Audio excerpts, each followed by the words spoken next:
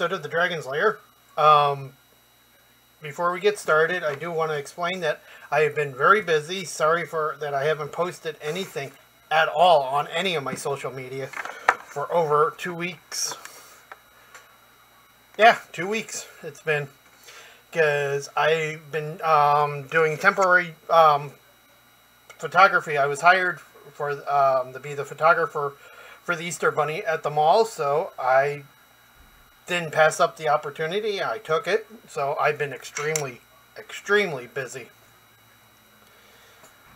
And I got one more, well, I got three more days on Monday, Tuesday, and Wednesday, and then I, I leave again. I leave for Norwescon, which I'm hoping to do more videos than I did what last year. I did what, one in my hotel room? I plan on doing more. So, um, down, um, I am very sorry. I apologize. I, by the time I got home, I didn't really want to look at a computer or a camera or anything. So, um, so what else? Oh, um, if you've been following me, you know that I am, I, I do videos each week mostly on unboxing videos of different products um, and things. Um, if you like my videos, hit subscribe. Hit the subscribe button. Hit the like button. Because the more likes I get, um, I'll probably be able to get um, these products that I, I personally pay for to sponsor me. I'm hoping to get sponsors. I'm almost at 10,000. I don't know when sponsors start looking at you, but I I think I just hit the 9,000 mark. So I tend to get a lot of people when I do my videos and my blogs because I mention my videos on my some of my blogs um, and other social media aspects that I belong to. Um, but today I'm going to be doing three videos. Sorry, three videos separately. And the first one I'm going to be doing is the Dungeon Crate. It because I have three right here. And I'm still waiting for one. I'm still waiting for the Witch Box. Um, I've emailed the guy, I emailed the person on Etsy. They've emailed me back saying that they're working on it. They're going to um, hopefully send it, but then they hurt their hand doing something. So I emailed them about that and to see to see what's happening. I'd like to get that and see what, what the products are like for the, um, for the, from that. So, um, other than that, let's do the unboxing of the Dungeon Crate. Dungeon Crate is a monthly subscription box for um, tabletop gamers. You get a lot of cool stuff in each box. I I've been subscribing to them for a month and a half now, or a year and a half. Sorry, a year and a half. And I think I was disappointed, not in the whole box, but just in a couple of the items. But I think I've used, I started a new game on Sundays at our local gaming store and my group. And I've actually used a lot of the stuff that I get in these boxes. They're great. Um, they're fun. And they're very useful. So, and Dungeon Crate is a $35 monthly subscription box. I don't remember what it comes to with tax and everything. So, but this is how you get it. And most people don't like looking at these um, dungeon these inserts telling you what's in the box, but it actually helps. And the cool thing is, is that these these are tiles. You can use them for your game, and I have. I've actually um, connected them together at, uh, at the beginning of my thing and showed them, okay, this is this is the road. I use these, I use this for a road in a town because it was like a nice, rich, expensive, fluffy, floofy town. So they had the nice cobblestone or nice roads, dungeon tile roads. So, and you always get a featured item, which is cool. The featured item is a D20 shot glass dice roller. And we'll start with that. When I got the box, I looked in it really quick to see what was all in it. So, but I didn't take it, didn't pull anything out or open it. So, I mean, everything still sealed, was still sealed. So here's the shot glass or the D20. I don't know if I'd use this as a, a as a dice roller. It's glass, and I have a dice. I have a dice cup for my with my dice tray. So I mean, but this is cool. This will probably go with my um, shot glass collection that I get that I have. I it's not really a collection. There are a bunch of different shot glasses from different taverns in Rena, at Renaissance fairs, or um, at Vegas casinos. I have one from um, Excalibur, which is I think the only one I have from Vegas. But the other ones are from um, my Renaissance fair, the different pubs. So I mean, so I'll I'll probably add this to my collection. I do like it. It's got a cool D20.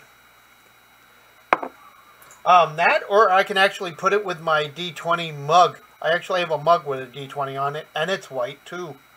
So I mean, they have a shot glass and a and a drink in a mug, which is cool. Sorry, I my mouth is getting dry. I probably should be drinking water instead of Coca-Cola. But okay, next item is I have these. I have. I finally got new glasses, and I still can't read jack shit. I have an extra pair because these ones don't have the I have I don't need bifocals. I need lenses that well, I guess they would be bifocals, but they're the blended bifocals, and these ones don't have it. These are just the single lens. So, okay, next is the Barbarian Mini. I don't know why they're not doing um, getting Reaper the uh, Reaper. It's got like some of the best minis. They've like become the mini expert on um, for gaming. Um, unless you 3D print your own miniatures, which I think this is a 3D print. Yeah, Omaha3dprints.com, Barbarian with Sphere. So let's open this. There's the tab. Ah, it's on the label. Okay.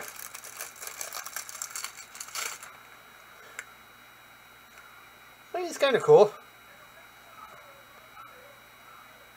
Oops. See if I can focus. I really need a better camera, but I've used this I've used this one so long it's like okay. Sorry if it's not focusing. I wish the camera on the computer was working, but it's not. So, but it is a cool miniature. Unfortunately, I don't have any barbarians in my game at the moment. I do have a cool character, a character that my next door neighbor's son made that he, he plays in my game. Um, he's a barbarian um, dragonborn. And he's actually pretty cool. It's actually a really interesting character. He has a fun background and everything.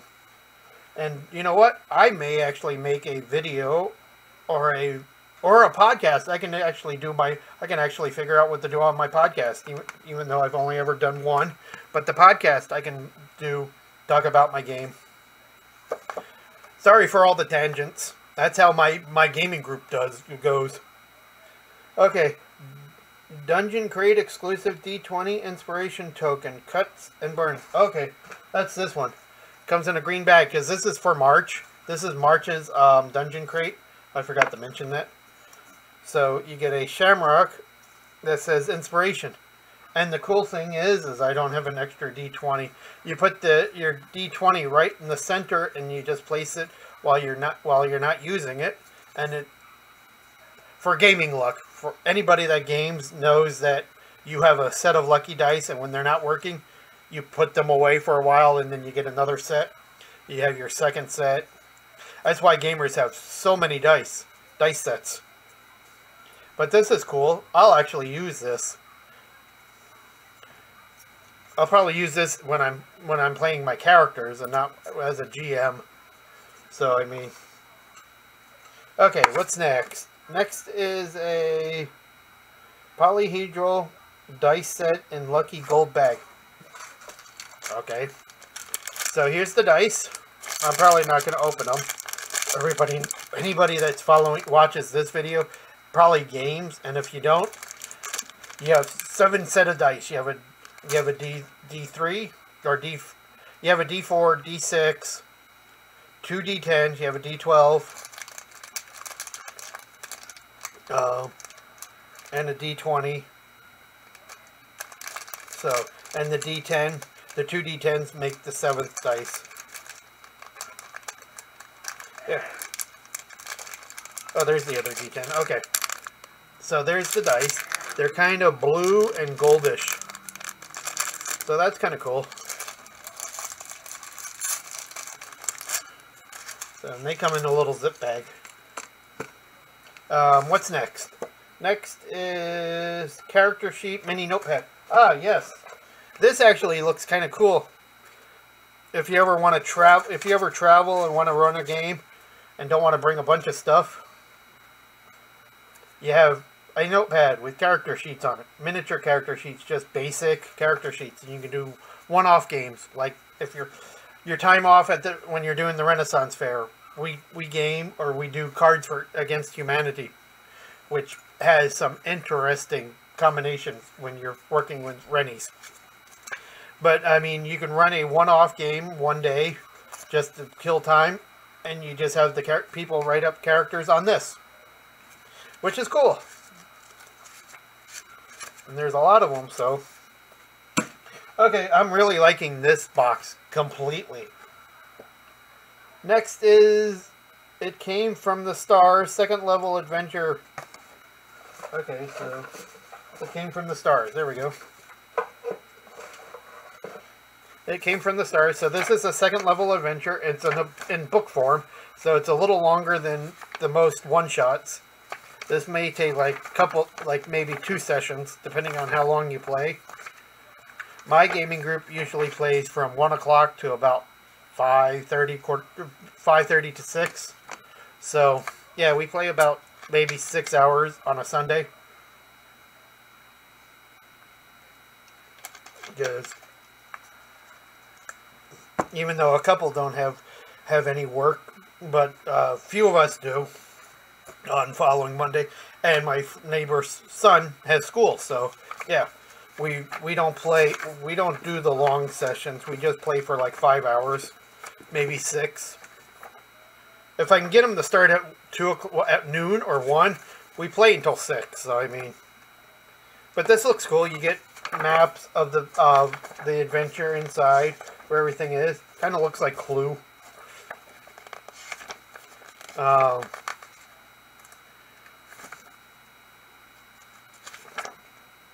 Then you get the character, the NPCs and the monsters. So these are cool.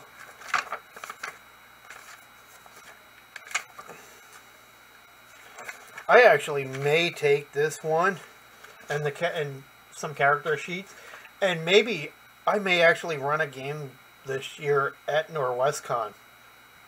I've usually only played in a few games, but I'm usually busy at Norwescon because I'm a photographer and I volunteer at this in security. So I mean, I do a lot. I'm busy even at conventions when I'm on vacation. It's still a working vacation. I can't get away from work. I guess that's part of being a freelance photographer and journalist. So I mean, okay. Next is Dungeon Crate exclusive magical item stat card and character stat card. Okay, so that's the. There's still quite. There's still about four or five items left in the box. So here's the magic item. Alexandra's toolbox. It's a rare item. So. Oops. Sorry, didn't mean to throw it. And then Void Revenant. Neutral Evil.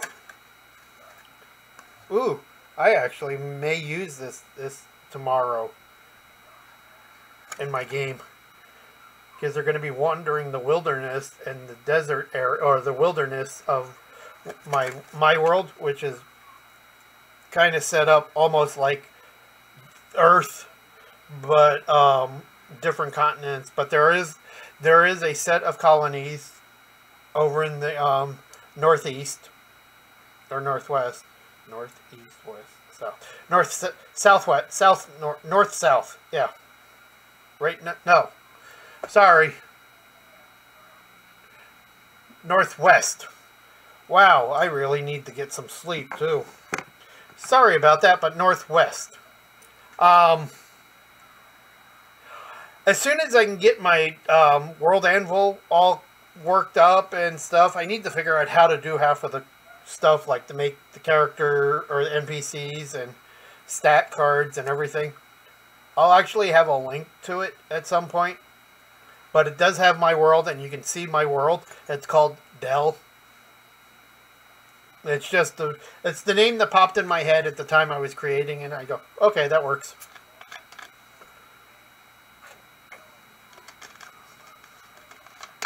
Um, but there's a whole. I wrote a whole history. I have a handbook of uh, what um, most what movie and TV shows called um, Story Bible. I have two. I actually have two of those. One for the gamers and one for me because there's a lot more notes that I don't want the gamers to know. My PCs.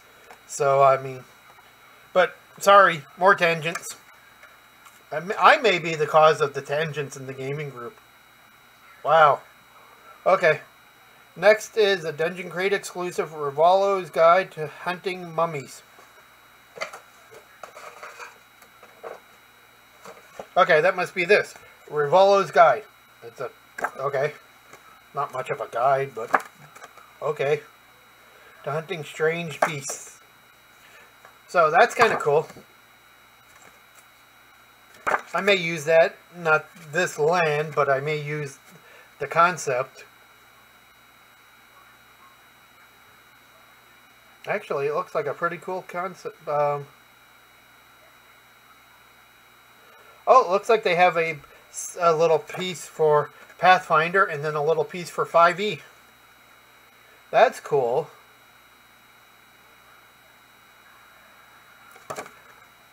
Okay, so they have a little note if you're playing Pathfinder, and then a little note on the on the concept uh, if you're playing 5e, D&D 5e, and then the whole thing. So it's compatible to Pathfinder and um, 5e, which a lot of these are. I don't know if the stat cards are because they only have 5e stuff on them, but I mean, I'm sure it wouldn't be that hard to adapt them to Pathfinder. I played Pathfinder once, and then uh, then COVID hit, so we never went back to it. But I have a really cool multi-class character, so I'll talk about that on another time too. Okay, and then the extras we have. Is that it? That is it. And another cool thing is after the box is empty, the boxes are reusable. I have every single box, and I have stuff in them. I have like bunches of dice, miniatures, um, stuff that I'm not using can go in there. Um, pins, buttons. I've, I have I have a large geek pin and button collection, so they can go in there. And I think I used last month to put all my badge collection because I collect different badges, which is cool. Um, okay, sorry. So Drakar's Dull, it's a level levels five through ten. It's like little side quests for your adventure, which is the free gift, which is an extra bonus. Um, cool dragon sticker. I'm always happy about that. And a dragon tempor temporary tattoo. And the funny thing is, is as much as I love dragons, as you can see, my dragon shelf, which is completely full, are my support for the Targaryens. Um, and then my house banner is actually a dragon. So, um, much as I love dragons, I don't ever think I would ever get a dragon tattoo. I have tattoos, but I mean, I don't think I'd ever get a dragon tattoo. Even though dragons are very personal to me, and I love them, I collect them. But I think the keep it personal and not display it everywhere, I think it would have to be not, it wouldn't have to be a tattoo. So, but I could always change. That was my thinking back in my 20s and 30s when I got my first tattoo in my 30s. So, I mean, which is the um, Templar shield with the um, the Spear of Destiny, or it doesn't really look like the Spear of Destiny. It more looks like the um, Spear of Lugh, the Celtic god. But it's either one. It was supposed to be originally the Spear of Destiny behind the Templar shield. So I mean, with, with and it's got a scroll scroll under it saying um, Guardian in um, Celtic. So I mean, the other is the Lady of the Lake coming out of the water holding Excalibur, not upwards but downwards. Um, and then the, I have a few more, so I mean, but I'll talk about those later. I did not need to talk about those during the unboxing of Dungeon Crate. But let's see. A lot of people go through go through and talk about what they what they had. So we have we have an NPC, we have a magic item, we have an adventure, we have an extra um, side quest adventures, um, pack of PC or character sheets, the card insert with the tiles, an extra advent site, another set of side quests, dragon sticker, dragon tattoo, the inspiration D20 holder, which I need to put back in the bag, um, a 3D printed um, barbarian from um, omaha3dprints.com and I'll put their link down below and then a set of um, blue and gold dice, and a D20 shot glass dice roller. So that's actually a lot of stuff you get for 35 bucks. And to me, it's worth it because there's a lot of gaming stuff in here that's very useful. As I said at the beginning of the video, I use a lot of this stuff in my games, so none of a lot of it doesn't go to waste. And the box is very useful because it looks like a little dungeon, or a little crate, I mean. Like you open it up, you can find gold. Ooh, which is a good idea. Put a bunch of, I can like fluff it up and then throw all my gold coins because uh, my D&D game gaming group actually when they want to buy something they actually use um, gold coins or silver coins or platinum coins or copper coins I they actually get the amount that they have, and when they find more, I give them more. So they actually use, I actually use role-playing um, props in my game. So that's it for the Dungeon Crate. If you like this video, like I said, hit subscribe, hit the like button, tell your friends. Sorry it's a little longer than normal for an unboxing. I went off on a lot of tangents. I understand that. But as gamers, you may understand tangents are part of gaming. You come up, you deal with something in your in your in your playing world, and you go, "Oh, hey, yeah, do you remember that video?" And it's like, then the whole group goes off on tangents. My group is notorious for that. So, I hope you liked this video. Um, it's a little brighter than I normally it normally is. I've got I got it kind of fixed, but um, enjoy and check out my other videos. So have a good day.